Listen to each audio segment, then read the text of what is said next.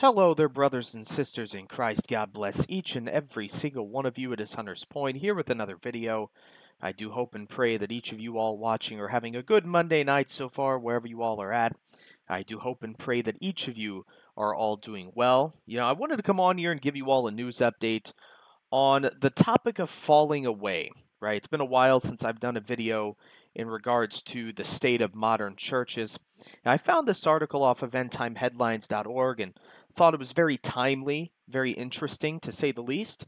So this will serve as the content for your news update tonight. So without any further ado, this is your one article world news update for the 25th of March, 2024. The article again is off of endtimeheadlines.org and will be linked in the description box below as per the usual falling away. Church attendance continues to decline in most U.S. religious groups. As Americans observe Ramadan and prepare to celebrate what you know secular folks tend to refer to as Easter, right? Many also refer to it as Resurrection Sunday, as well as Passover, the Jewish festival. The percentage of adults who report regularly attending religious services remains low. Three out of 10 Americans say that they attend religious services every week, 21%, or almost every week, 9%, while 11% reporting attending about once a month, and 56% seldom, 25%, or never, 31%, attend. Among major U.S. religious groups, members of the Church of Jesus Christ of Latter day Saints also widely known as the Mormon Church, are the most observant, with two thirds attending church weekly or nearly weekly. Doesn't really matter too much because their doctrine is wrong. Protestants, including non denominational Christians, rank second, with 44% attending services regularly, followed by Muslims 38% and Catholics 33%. Majorities of Jewish, Orthodox, Buddhist, and Hindu Americans say they seldom or never attend religious services. 26% of Orthodox adults, 22% of Jewish adults, and 14% of Buddhist adults, as well as 13% of Hindu adults, attend their respective religious services regularly. Although Buddhist and Hindu adults have similar levels of regular attendance, Buddhist adults are much more likely to say that they seldom or never attend, 75%, than Hindu adults at 51%. The largest segment of Hindu Americans, 36%, say that they attend their religious services about once a month. Americans with no religious affiliation, including those who say that they are atheist or agnostic, are very unlikely to attend church, regardless of faith right? Again, these are people who either do not believe in the existence of a higher power or they're not sure, right? They tend to ask a lot of questions but never actually put their faith in the one that they should be putting their faith in, and that's our Lord Jesus Christ major religious celebrations for people of the Christian, Jewish, Muslim, and Hindu faiths in March and April, which involve gatherings of the faithful at churches, synagogues, mosques, and temples, will likely draw many more adherents than in typical weeks. Gallup measures church attendance and religious affiliation on nearly every U.S. survey it conducts. These results are based on aggregated data from Gallup telephone surveys conducted in 2021, 2022, and 2023, which yield enough sample to examine attendance among a larger number of religious groups than would be possible in your typical survey samples. Beyond Protestants, Catholics, and those with no religious affiliation, other religious groups each represent 2% or less of the U.S. population. The combined 2021 through 2023 data comprise interviews with more than 32,000 U.S. adults and at least 200 respondents in each religion, except for Orthodox churches and Hinduism. Gallup also constructed similar aggregates using 2000 through 2003 and 2011 through 2013 data to assess changes in religious service attendance over time two decades ago, an average of 42% of U.S. adults attended religious services every week or nearly every week. A decade ago, that figure fell down to 38%. And now, it is currently down to 30%. This decline is largely driven by the increase in the percentage of Americans with no religious affiliation, 9% in 2000 through 2003 versus 21% in 2021 through 2023, almost all of whom do not attend services regularly. Still, most religious groups have also seen a decline in regular attendance at religious services over the past two decades.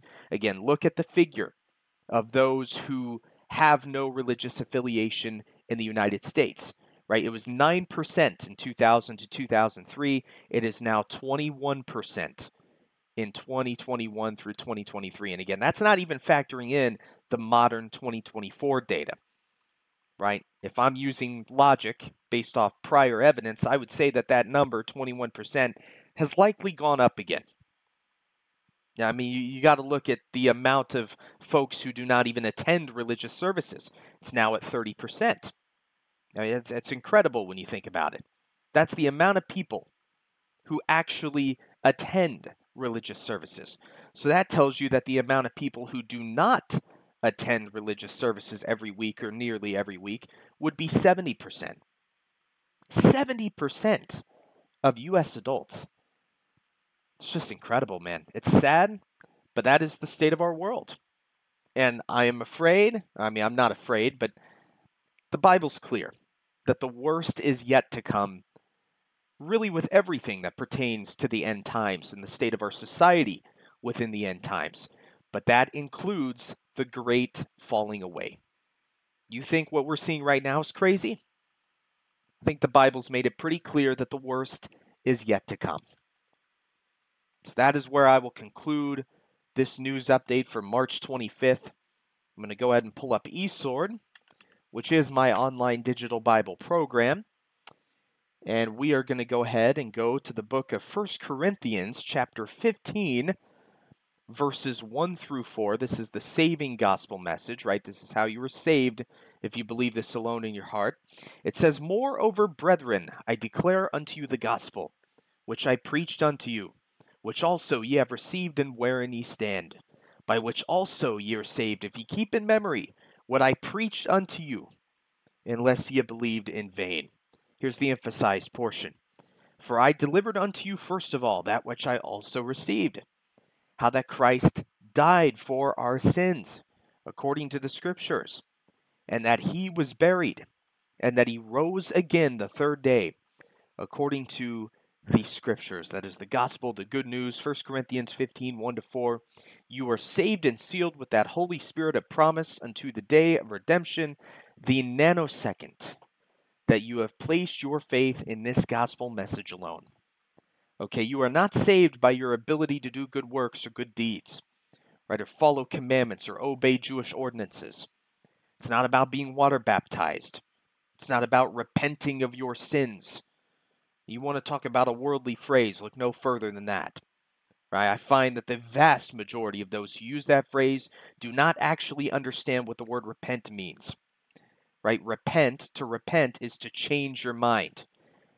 So biblical repentance using that proper definition is changing your mind from not believing in the saving gospel message alone to believing in the saving gospel message alone. If you are trusting in a combination of your faith and your works, you haven't trusted in Christ alone. And therefore, using the proper definition of repentance, you are to repent, to believe, to change your mind from unbelief to belief in Christ alone. That is the true biblical meaning of repentance. Not that phrase, repent of your sins. Those who use that try to say, oh, you need to confess and apologize for your sins. Your sins were paid for. Repentance is changing your mind. Those who try to tell you something differently, they don't know any better. I'm going to go ahead and read John chapter 3, verses 16 through 18, as I believe they tie in beautifully with the saving gospel message. And it says, For God so loved the world that he gave his only begotten Son, that whosoever believeth in him should not perish, but have everlasting life. For God sent not his Son into the world to condemn the world, but that the world through him might be saved. He that believeth on him is not condemned, but he that believeth not is condemned already, because he hath not believed in the name of the only begotten Son of God. It's really that simple, folks. Jesus Christ is the Son of God, God the Son, the second part of the Trinity. He died on the cross, shedding his precious, purifying blood for the remission of all mankind's sins, that's past, present, and future sins. He was buried in the tomb three days, proving that he was dead, and he rose again the third day, according to the Scriptures, for our justification and therefore our salvation. Jesus did the work. All you have to do is believe in him. It really is that simple. I'm going to finish here by reading Ephesians 2, verse 8 and 9. It says, For by grace are ye saved through faith, and that not of yourselves, it is the gift of God, not of works, lest any man should boast. We know that grace, by definition, is getting what we don't deserve, which God has offered to us as the free gift of salvation and we accept and receive that free gift once and for all, past, present, and future, by faith alone, in the finished redemptive work of Jesus Christ alone. Right? It's God's unmerited favor. We've done nothing to deserve God's amazing grace. And yet, He's loved us enough to offer that to us, that free gift of salvation, to show us grace. All we have to do is believe in that gospel and that is the equivalent of us accepting that free gift and embracing the grace. It's really that simple. So I pray that if you're watching this video right now and you've stumbled across my channel page at any point in the past, I pray that you'd believe on Christ alone now while you have that chance. Because let me tell you, time is short. You have no idea when your earthly existence is going to come to an end. And once it's over, it's over. Then you begin your next life, your eternal life.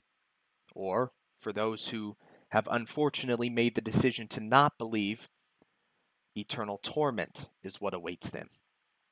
You don't want that. And God doesn't want that for you either. You know, He loved you enough to send His Son to pay for your sins so that you didn't have to. Because as human beings, we would never be able to pay for our sins. That is why hell is eternal. See, but Jesus Christ offered up his blood to serve as the complete payment for all your sins, so that you don't have to pay for any of your sins. Christ paid for them all. All you have to do is believe in him. That's the equivalent of accepting that payment that he's offered up for your sins. Please believe on Christ alone now while you still have that chance. I implore you to do so. All right, that is where I'm going to leave you all off at for this video. I will see you all in the, in the next video message whenever it is, should the Lord tarry is coming. Otherwise, God bless y'all. All right, take care.